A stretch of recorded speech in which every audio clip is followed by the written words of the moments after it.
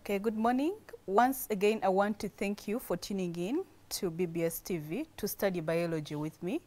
Uh, my name is Jovia Katuhaise. As usual, I am going to teach you biology. And as I promised last time, the next topic is going to be coordination. This is a topic that the majority of you chose, so I didn't dictate on this topic. So we are going to start with this topic, and then the other topics that came in later on, I had a variety of topics, but the second most common topic was uh, locomotion, and then we also had genetics, and then we also had um, is it cell division, something. Most of them were senior four topics. And so we are going to start with coordination in animals. coordination is divided into parts. We have coordination in animals and in plants. As per now, we shall start with animals and then we shall end with coordination in plants. It's after coordination that we shall choose the next topic to go with. That's if God allows and we have, and we have life. Um, today's lesson, the major expectations of the lessons, as, uh, of today's lesson as we are introducing it, we shall look at the major definitions on coordination. Since we are just introducing it, we are going to do only the introductory bit of it. So we are going to look at the major definitions. What are different definitions that you're going, the keywords that you're going to be meeting all along within the session of coordination. I'll introduce them today. And then uh, later on, we shall look at the mammalian endocrine system, which is basically the hormonal system. Then we shall look at what a hormone is, the characteristics of the hormones and their functions. And then we shall look at a gland, the different types of glands there are. And the reference questions for today, uh, the reference question is UNEB 1996, question 32, paper 1. However, we shall have some uh, other reference questions alongside my um, the lesson, but that is the major reference question for today, and I won't change it. Even the next time when we are studying this, it will be it will still be the reference question because it's it, it's it's covering a bigger part of the of the endocrine system. So. As usual, I used uh, Jeff Howard 2000 edition, Macmillan Secondary Biology, the international edition. As I always say, you can use any other kind of a textbook other than that, though this is always my choice. Uh, to get back to the lessons of uh, to today's lesson of coordination, coordination in science, but in English, coordination coming from the word coordinate. Oftentimes we've been at school and you've been told to coordinate different people. Can you coordinate your members? Can you coordinate the French students? Can you coordinate the, the, the B class, the biological class? Can you coordinate with these people? And it's a word that we often use in English. And then here it comes also in science is there. And then we're asking ourselves, what is coordination all about? In English, to coordinate means to connect or to interlink or to bring different people together to achieve a common goal or a common task. That is coordination in English. But then what about in science? In science, coordination still remains as in English, but then we look at it in the concept of your body. In the concept of a body of an organism, in the concept of a plant body, in the concept of your body, here we look at the different body parts, the parts of your body, that is from your head up to your toe, how the different body parts interlink together or come together to achieve a general function or connection between the different parts of your body, how they connect in order to bring about a general um, at a general function of your body or working, the working system of your body. And that is what different uh, coordination means in, in a general way, not in a specific way, the way we define it in science. Remember I told you that in science, you just have to understand the concept. You don't need to cram the exact definition that your teacher gave you in your book. At the end of the day, cramming in science will not work. When you forget one word, you forget the entire definition. So better understand and write what you understand by coordination. And then the, way, the best way of passing science is you read a question, translate it in English. coordination. And to you in English, what is coordination? Co- To coordinate, networking, linking up together. So you look at how the different parts of our body or the different systems of our body come together or work together to achieve a general task. And that is simply coordination in the layman's language. But then in the scientific way, how do we define coordination? We look at the uh, coordination as a, a process by which different body parts or different body systems or different body organs work together to achieve a general function. And the working is always in a proper manner. So they work together in a proper or an appropriate manner in order to bring about an appropriate response or reaction. So the series of changes that take place in your body, where the different body parts, the head, the toe, the knee, how those different body parts come together and in an appropriate way react to respond to a particular change in the environment is what we look at as coordination. Take for instance, imagine you're walking and you realize that you're about to step on a snake as you're seeing on your screen. You're walking in green grass and as you're walking, you are even singing, or maybe you're, you, you're from fetching water, or you're having a pot, or, or whatever jerrycan on your head, you're from a river, or whatever, uh, uh, whatever, you're from doing something, or collecting firewood, or you're in the forest doing some work, or you're in the garden doing some gardening. And then all of a sudden, you realize you're about to step on a snake. And when you look down, you look at it when its mouth is widely as wide as open as you're seeing it on your screen. What happens to your body? Do you continue to step on it? Or do you just stand and, and smile at it? Or imagine where you're seated right now in your sitting room or wherever you're seated, whether your bedroom, your sitting room, or on, on the dining, under, under the table where you're seated, as you, you look down, that snake is there, the way it is on the screen, and it is, its, its, its mouth is wide open. You remain seated there? To Some of us, even a small fly, the moment a fly passes by, you run away, a cockroach. The series of events or reactions that take place in your body when you see a change in an environment and you respond to it in a particular way is what we'll call coordination. When you're about to step on a snake, you look at it, you shout, then you scatter, you run away. The different events that have taken place in your body. It's like your eye has seen a snake, and then your brain is involved that this it, it interprets, integrates, processes that this is a very dangerous organ organism. And then all of a sudden, your muscles are given enough energy. They contract. And when they contract, they give you energy to run away. So you are seeing that you're having the eye seeing the snake. You're having the brain process that this is a very dangerous organ, organism. And then in your brain, you're like, it will bite me. And then your muscles are involved. And then they contract. And then your legs are taking off. And then later on to some of us, you, you even get develop goose pimples all over your body.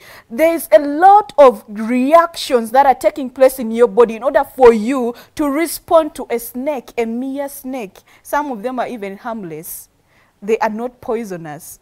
So to respond to a mere snake, the, a group of those reactions whereby the different body parts, your eye, your brain, your legs, your muscles come together in order for you to respond to a change in an external environment is what you call coordination whereby the body parts react in an appropriate manner or in a proper manner. None exceeds the other. Because if one exceeds the other, then you may not carry out a, a, correct response to a particular stimulus. So that series of changes in your body to respond to a change in the external environment is what we call coordination. Once again, in scientific way, the definition of coordination is the working together of the different body parts or body systems or body organs in a proper manner to bring about an appropriate response or reaction to a change to a change in an environment. The environment could be inside your body or it could be outside your body. So in the external the, the, the, the normal external atmosphere. So those changes and our response to them is what we call coordination. And coordination is is typical to all living organisms. It's in, in, in senior one we looked at the characteristics of living organisms. And one of them was they respond to changes to the external environment or irritability. So so long as you are living, you ought to respond to change to the external environment. You ought to coordinate, to carry out coordination, because coordination at the end of the day is protective. It is protective in most cases when we are carrying out change response to the external environment, we are either running away from danger, and in the end in the, in the end we are protecting our lives. Imagine you're walking in the forest or within the grass and you step on a thorn. You immediately uh, a knee jerk will happen. You bend your knee remove your leg and then you start getting your, the thorn away from trying to check what has pierced me. Imagine you're going to sit on a stool and you sit on a needle and it pierces you continue putting your buttocks on the needle what are the reactions that come about? You're cooking in the kitchen and then you are, you, you are or by accident, all of a sudden you touch uh, I mean, you touch a hot object. So like some of us, we even, uh, some of us know, uh, we even say that we are women, so we don't, we, women are meant to be burnt. And so it's a, the saucepan is very hot, it's, it is containing a lot of boiling sauce or whatever food, and then you go with your bare hands and you touch the saucepan. It's very hot, it's gonna burn you. So when you touch a hot object, what responses come about? We know we even tell our own siblings, the young ones, or our young children, you know what? Expose him or her to a hot object, and then he starts saying, chocha, it's hot, eh? It's hot. And then you just let him first touch it. It burns them. Then they remove their hand very fast. And they will never do it again. The series of responses that are taking place in your body when you're exposed to a change in the external environment is what we, we are calling coordination. You just don't remain the same. Oftentimes you can sleep when there is music, you know, in the background. You sleep when it is so sweet, the music is playing, maybe it's slow, slow jams or whatever, that so, baganda abaganda ba, ba, they call it musical kerevu. so you sleep in uh, amid this music but once you hear a gun a gunshot you can wake up or a bomb blast you wake up very fast or something, a sudden weird, weird noise. But amid this music, you were sleeping. But when there's that, that weird noise or maybe of a bomb blast or maybe there's, there's, there, there's, some, there's some shootings and in the neighborhood, immediately you wake up and then you are racing all of a sudden because it's something that is not it's not common. It's it's it's it's, it's it exceeds the normal the norm that you slept under. And those responses whereby you can even separate particular changes from others in the external environment is what we are going to learn about. Each of the things i've mentioned about we are going to learn about them in a particular unique way. Trust me, this is the most interesting topic that you can ever have. Most students take it to be the most difficult one, but I want to tell you it's the most interesting topic, and so I implore you to get uh, to stay tuned on. So before I continue with coordination, we've got to look at the major terms. What are the key terms that we look at when we are studying coordination? The first term is a stimulus. I will use this word more often in this topic, and I want you to first get to know what it is. What is a stimulus? A stimulus simply meaning a change in the, in the external environment to which you will respond. That is a stimulus. Take for instance, when you are, you are walking and it starts raining, all of a sudden you run away from rain, you go and and, and, and get a shaded place where there is no rain. Or you get your raincoat on, or you get a jacket. So you are responding. The stimulus there is the rain. And the response is you going near a place, uh, in a house or in a place that is shaded to run away from rain or to get a coat. When it's cold, you get a jacket. So the coldness is the stimulus and the getting of the jacket is the response. Or say when it's very hot, you go under shade. And then the hotness in the, is the change in the environment. It's the stimulus. And you getting, going to a shaded place, it's a response. Say you are hungry, you look for food. So the hunger is the stimulus and the looking for food or eating of food is the response.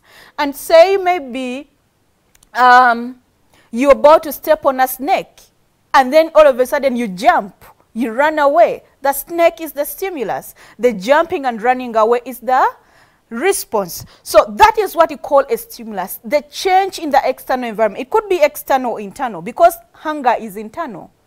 Uh, you can feel thirsty and you feel like taking water and then you take water. Then the, the, that um, feeling, uh, the feeling of being thirsty now is our stimulus and taking water is the response. So Stimulus is just any change in the external environment that stimulates you to respond to it in, in an appropriate manner. So that is a stimulus. The next uh, major term is what you call a response. Remember when I was talking about a stimulus, I was telling you this is a stimulus, then this is a response. So a response simply means your reaction towards a stimulus. Like, I mean, you are going to see, you are walking and you see a snake and its mouth is wide open. Instead of you just stepping on it, you jump away and run. So the running, jumping away from the snake, running from the snake, running, and then all the, the, the alarms that you make, that is the response you know, and then you realize you, are, you touch a hot object and immediately you remove your hand from a hot object. So remove of a hand from a hot object is a response and the hot object is the stimulus. The next one is say, um, as I said earlier on, it's raining, you run away from rain, you go and you, you, you, you go to a shaded area or you, it's so cold, you get a coat, you, got a, you get a jacket. So the, getting a jacket is the response and the coldness is the stimulus. So responses simply is how you react to the change to the external environment, your reaction. And it's always appropriate to that particular stimulus. These two terms are summed up by a major term we call irritability.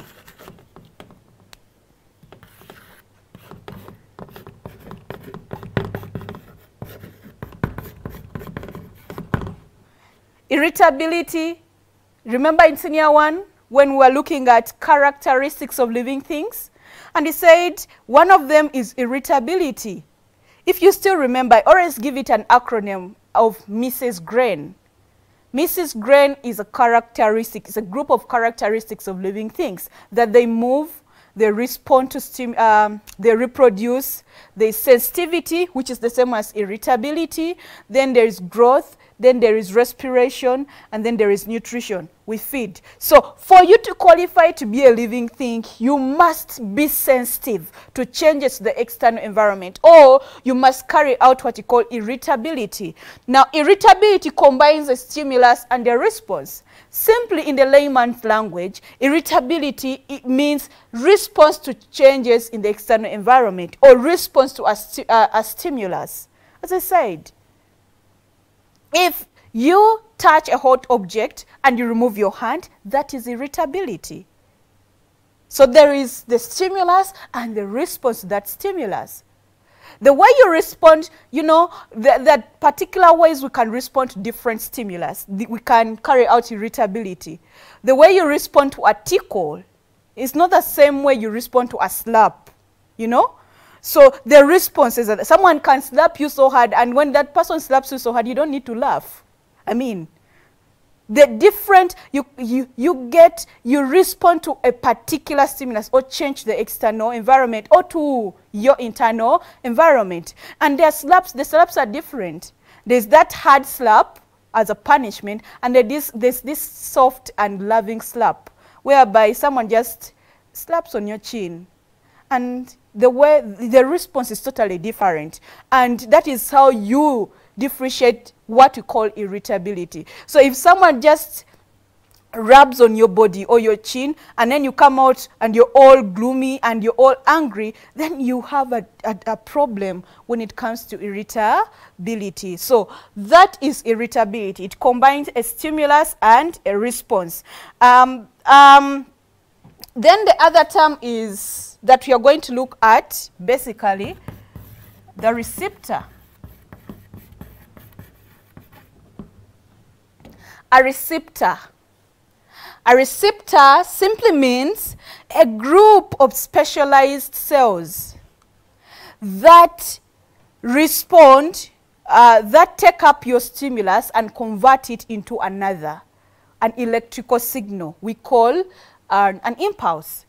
So uh, in, in the layman's language, I want to take it to, to the layman's language, receptors are a group of specialized cells that detect the stimulus that detect the change in the external environment.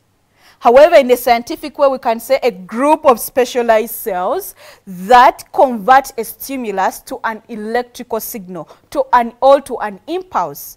But in our layman's language, you can also define them as the first cells to detect the change in the external environment. An example is your skin.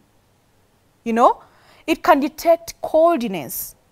So we have different kinds of receptors that uh, detect different changes in the stimulus. We have what you call the thermoreceptors.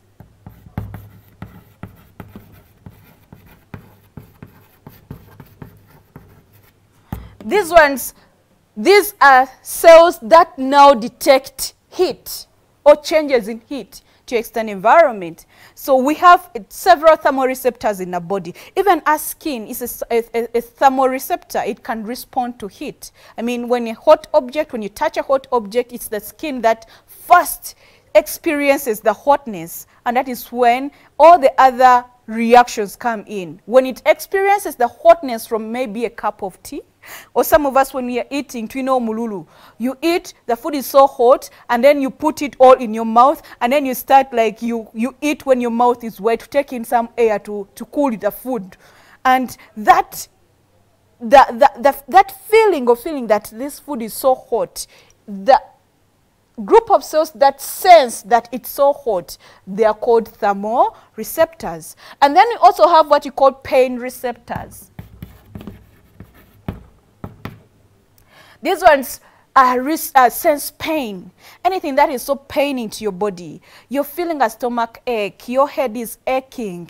Or say something they are, they, they are injecting you. You are taking up an injection and it's so paining. Anything that is so paining is it's always sensed by the pain receptors, which are located also in your body. The next kind group of receptors are the chemoreceptors. These ones are sensitive to chemicals in your body or chemicals in the external environment. You've had some people who are allergic, just smelling something, oh God, or just any being around any uh, any environment that is having any chemical, they develop rashes or whatever, they get nauseated, and that is changes the, the, the, the cells that detect the chemicals are what you call the chemoreceptors. And then we have what you call the mechanoreceptors. These are specialized cells that sense changes in pressure. Pressure in your body or in the external environment. And then there are mechanoreceptors. Lastly, we have what you call photoreceptors. A photo coming from the word light or sunlight.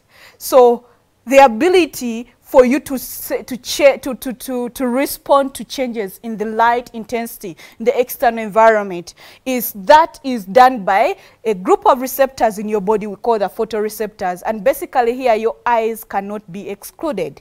And some of these receptors have come together and formed what we call organs an entire organ. And these organs are what you call the sense organs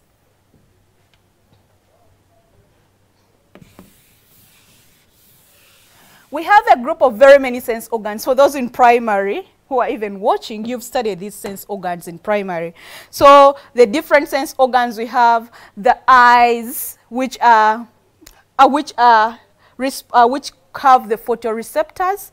They're in charge of sensing, seeing in light. We basically see very well when there is sunlight. And when it's in the dark, in most cases, we see something, an object, in its black and white color or in grays. But then in bright light, you can easily see the shape, the color, and you see an object at detail. So that is the eye. It's a sense organ.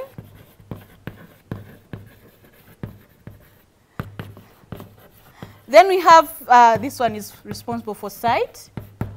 Then we have the nose, call it the nostril, which is responsible for smell. You know, sometimes someone moves by a dustbin and it's so stinky. Not even a dustbin, a rubbish pit. Or maybe someone farts in class or gassing and it's so, so the, the, and the smell is so pathetic, then you touch your nose or your nostril. You don't want to smell it. So this is the organ. Then we have the, the tongue, which is in charge of testing because it has test buds. The ear and this one we know it's very important in the process of hearing or detecting sound waves.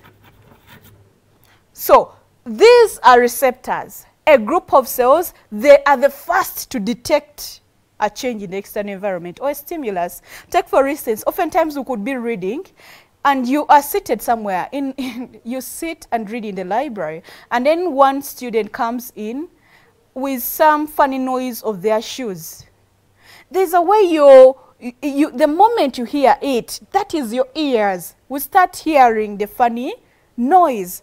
And then you, it will coordinate to your brain. Will, uh, it will detect that stimulus first, and then to send it, convert it into another form of an electrical signal, which will be taken to your brain. And your brain will be like, that must be a girl.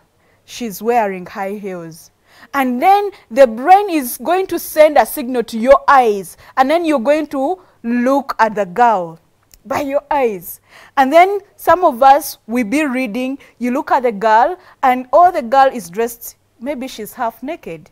And then you even forget you're reading. And then you start undressing the girl from the, the, the blouse up to the, the, the underwears where you're seated the series of events that are taking place in your brain, from hearing that funny noise of the kakondo, up to you looking at the girl and undressing her, all those events are taking place within your body. The girl is unaware, unaware, and the people seated around you are unaware. So that series of events is what we are, we are here to look at in terms of coordination.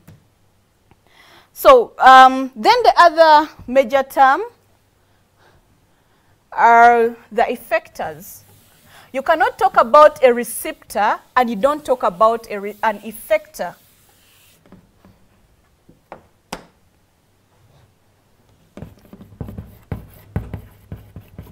Just like its name effector, it effects change.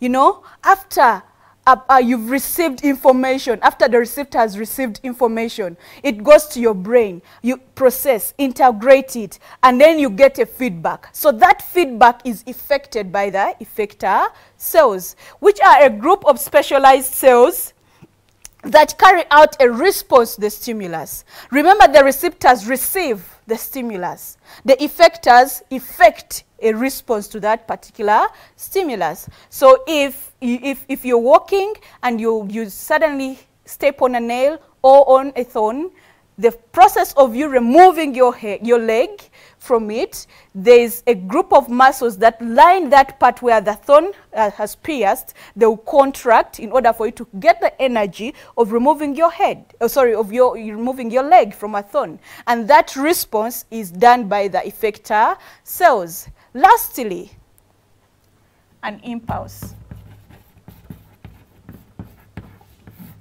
Now this is coming glass and these words I'll speak about them more often.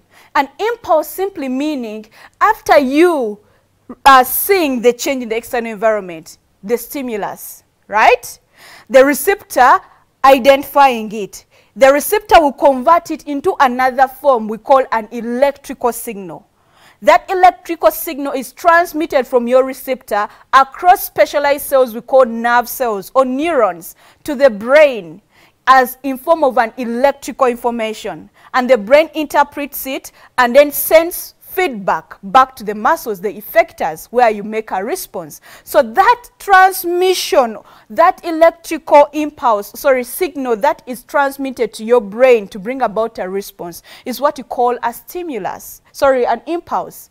So an impulse is simply an electrical signal which is transmitted across nerve cells to your central nervous system to bring about an effective response. It's like, it's like, it's like a message. I type a message on my phone like WhatsApp and then I click send. It's sent in an electrical way and the person within the shortest time receives it and can give me the feedback. So it's analogous to that. That is what you call an impulse. So I'd like the, uh, the producer to relate to us the, the, the series of changes that take place in a body when we get to a stimulus to bring about a response. That picture should be uh, relayed on the screen. Know the first picture, that one. So this is what happens when we are to carry out um, a stimulus response way. We start with the stimulus, as you're seeing. The stimulus sees a glass containing, say, juice though it's blue in color, so it's containing a liquid that is blue. And the eye is the receptor. It sees the glass. And then after seeing the glass, it's the receptor inside is going to convert the stimulus, the glass of juice, into a, an electrical information we call an impulse. That will be transmitted across the sensory neuron, as you're seeing, to the brain, which, is, which makes a central nervous system. The brain will interpret the electrical signal that that must be a glass. It's the brain that is responsible saying, of telling, of, of interpreting the signal that has been brought, that that is a glass. It contains juice. And then after it has interpreted, integrated, and processed that, it would also determine the feedback that, you know what, better get that glass, and you take that juice. So after the brain has interpreted and processed that and given you the feedback, the feedback again is converted into an electrical signal and sent via your motor neuron towards the effectors. And this time the effectors is your hand. And the effectors in your hand are the muscles that are going to contract. And when they contract, you will get the energy to lift your hand and pick the glass containing the juice and in order for you to take. So that is the series of reactions that take place in your body. You can see there are different body parts that are connected. We have the eye, we have the neurons, we have the brain, you having the hand and the muscles. So different body parts are being coordinated or are being brought together to react to a particular uh, stimulus or change in the external environment. And that is what you call coordination. So, the last bit of this um, coordination in animals is divided into two. We have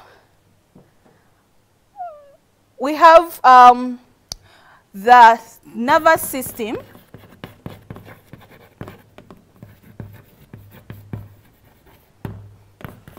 and then we have what you call the endocrine system.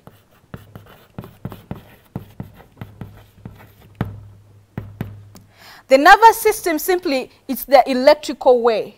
It, it just simply involves the neurons, the brain, and the spinal cord. So, and then the endocrine system, basically we look at the hormones, hormonal control. What is an endocrine system? For today, we are going to start with the endocrine system, and then after, we shall go to the nervous system.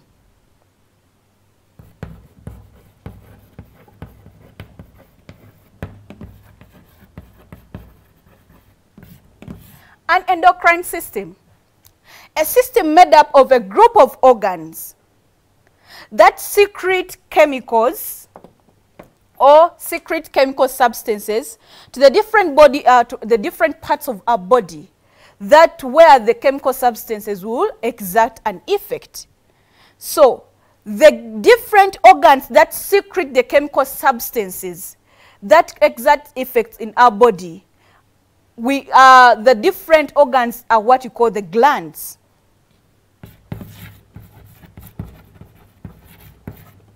And then the chemical substances that are secreted by the glands that will exert effect in our body are what you call the hormones.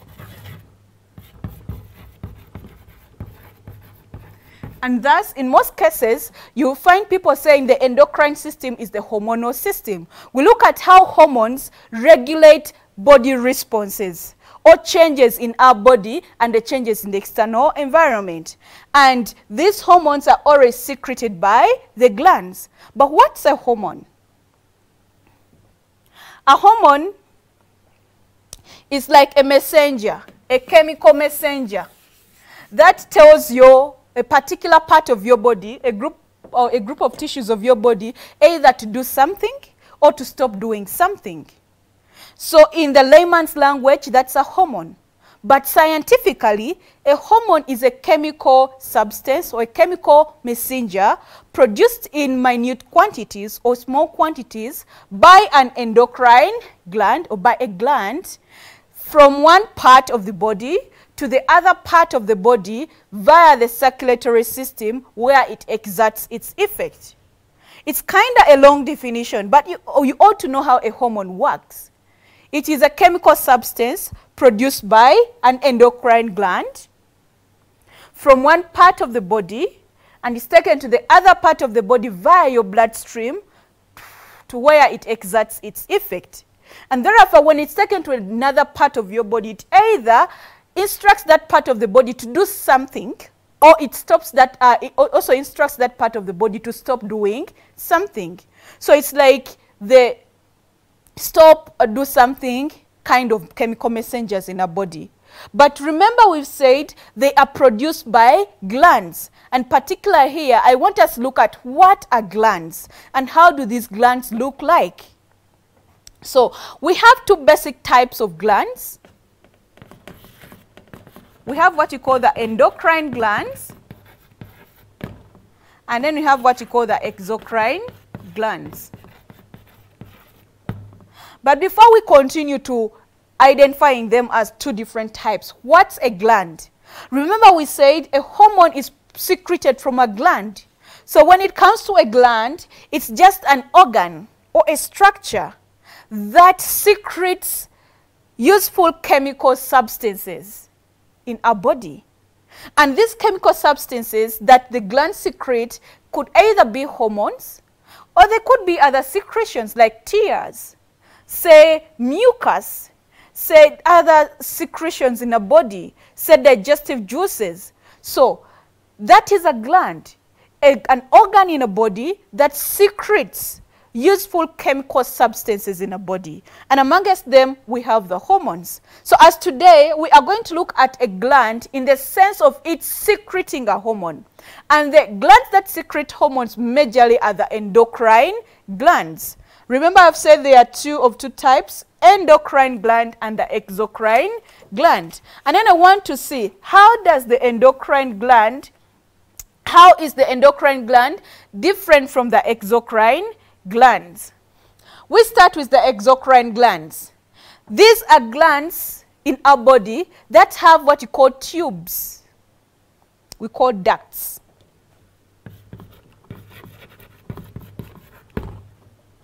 So it's an organ, say, like this. And then in the body, it has a tube we call a duct.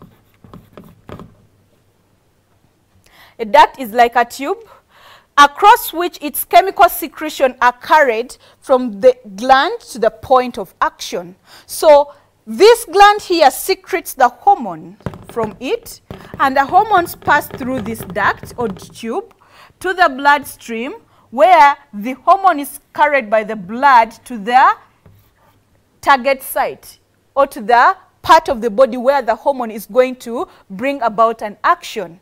And so because they have ducts, we call them exo, exocrine, um, exocrine glands. There are very many examples of exocrine glands that we have in a body that have ducts. Amongst them, we have the salivary glands. If you still remember, we have what you call a salivary duct.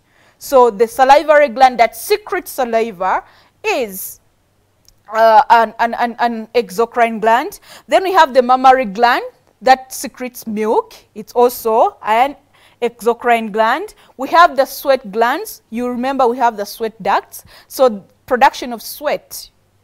These are, some of them are not hormones. So sweat glands are also examples of our exocrine glands. We have the pancreas. The pancreas has the pancreatic duct via which the di digestive juices are secreted. So in that instance, the pancreas becomes the exocrine gland. We have the tear glands that produce tears, so the tear duct via the tear duct and therefore the tear gland becomes an exocrine gland. So any gland that has a duct or a tube across which its secretion pass to the bloodstream where they're taken to their target site, that kind of a gland is called an exocrine gland. The next type of a gland is the endocrine gland.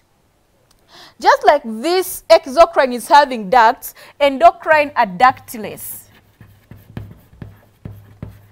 These glands here, or organs here, for them they do not have tubes across which their secretions are passed.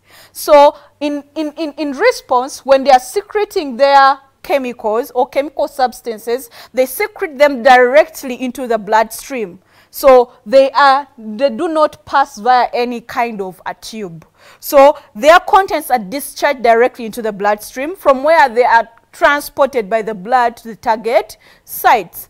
And an example of such endocrine glands, again, you're having the pancreas. So now you're here, the pancreas is both under the exocrine gland, it's also under the endocrine gland.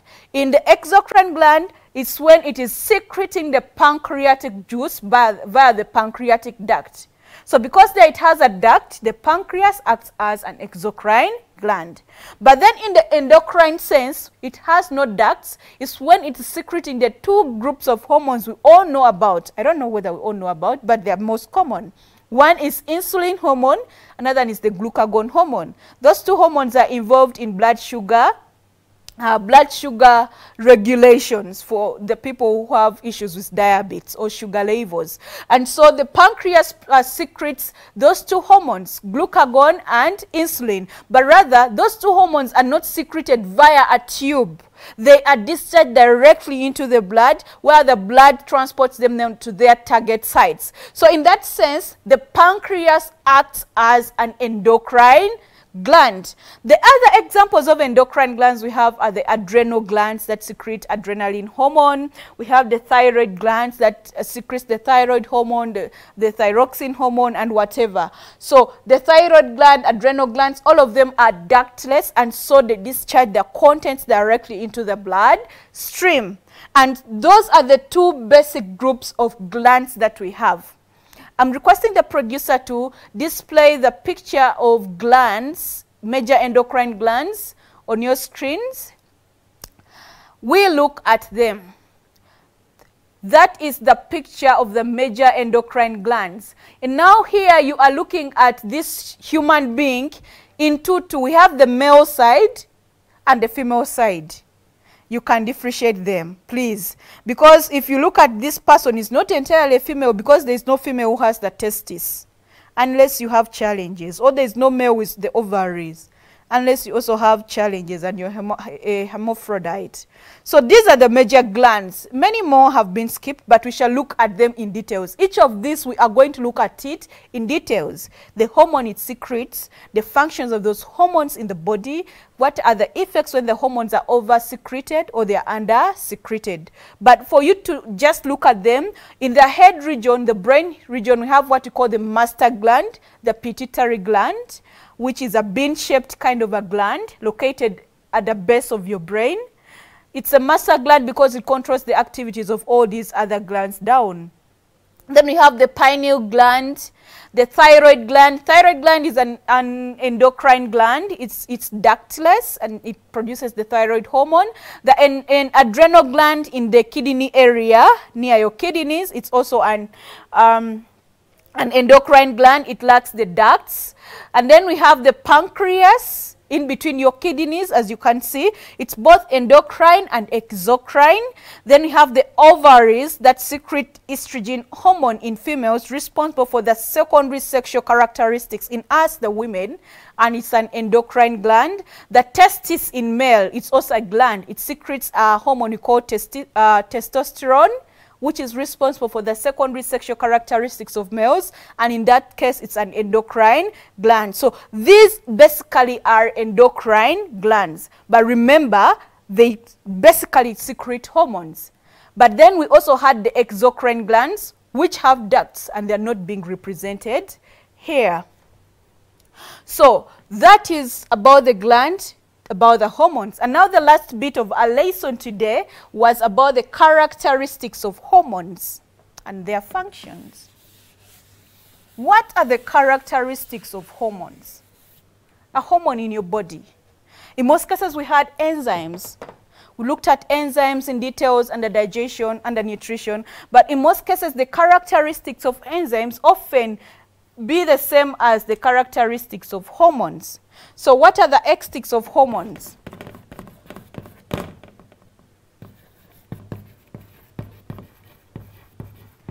I hope you people in your exams, you don't write this X. Let me even change it.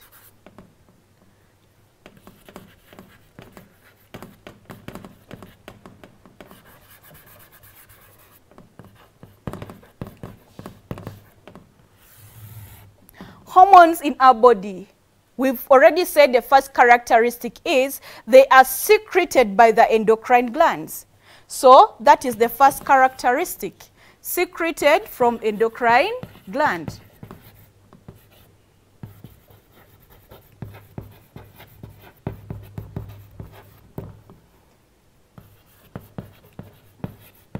The next thing in the definition of a hormone, I said they are always produced. They are produced and also work better in minute quantities hormone. You do not have to produce a full jerry can of hormones, of the estrogen hormone for you to have secondary sexual characteristics or else you're going to overgrow particular parts of your body. And so they always, they always secreted in small quantities and they work best in those small quantities. The next characteristic is they are protein in nature. Hormones are proteins. So the proteins we eat in a diet, some of them are used to form hormones. And so you take, you undertake proteins, you and develop your hormones and you will not grow very well. So they are protein in nature. And then the other characteristic is the action is often away from their uh, production site. So where they are produced is not where they exert the actions.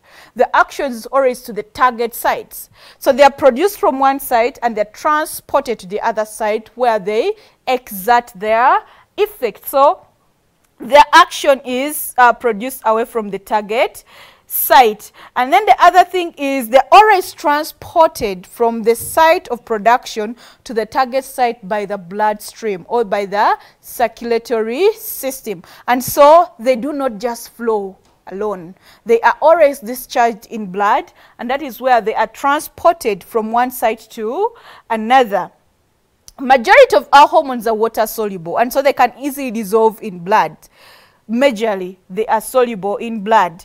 And then the other thing is their actions are specific. This is common to enzymes. The enzymes are also specific in nature but we also know that proteins are specific in nature and they are highly affected by temperature and ph changes but that is not under hormones hormones are highly specific. Why? The hormone responsible for the secondary sexual characteristics in female is different from that in males. And then when you give me the hormone for the males, then it, it, it, it does not mean that I would totally develop the male secondary sexual characteristics. So the actions are highly specific. The target sites are highly specific. So when you interchange the hormones, one hormone cannot in effect the activities of the other. So they're highly specific in nature. They are not stored for a long period of time in a body and therefore they're easily destroyed. After their actions, they are destroyed and the body will synthesize other hormones from majorly the proteins that we take within our diet. Um, then the other, uh, the last characteristic is their effect on target organs is either to stimulate or to stop, as I said. The hormone is, a hormone is like a messenger. A messenger comes to your office to tell you either go or don't. So that is what the hormone does. It will be secreted to your body to, from, from its gland to the target site. When it comes to the target site, it will either stimulate action of an action in that target, uh, target site or it will inhibit an action in that target site. So they are in that, they work in that manner. So those are hormones and their major characteristics. And maybe to leave a simple task for you based on what we have studied. How do you think hormones are different from enzymes? What if you asked to compare and contrast a hormone and an enzyme, how would you compare and contrast the two? How are they different? How are they similar? That is your question. The next question I can leave for you is what are the functions of hormones in the body? In the next lesson, when I come back, we are going to look at the different glands that we have looked at, starting from the pituitary gland and the hormones they secrete at length. We shall start with the pituitary gland, the master gland, the hormones it secretes, the different other glands, the hormones, the functions of each of the hormones, what happens to your body when you over-secrete a particular hormone and you under-secrete another one, what happens to your body if you don't secrete a particular hormone, and that is what you're going to look at in the next lesson. We are basically going to look at glands and the hormones they secrete, basically the endocrine system. As per today, we have looked at coordination and introduced coordination in animals. And we've said is a process by which the major parts of our body come together or network to produce a major activity.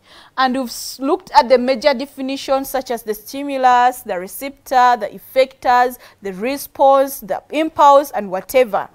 We've also introduced the endocrine system, and we've looked at basically the glands and the hormones, the characteristics of hormones and the different types of hormones. So the next time I come, as I said, we are going to look at different glands and the hormones they produce at length. The reference question for today on your screen is UNEB question number 32, 1996, paper 1. The next question I have left is compare a hormone and an enzyme and also write for me the different functions of hormones that you think there are. Other than that, I remain Jovia Katwaise, your teacher of biology for God and my country.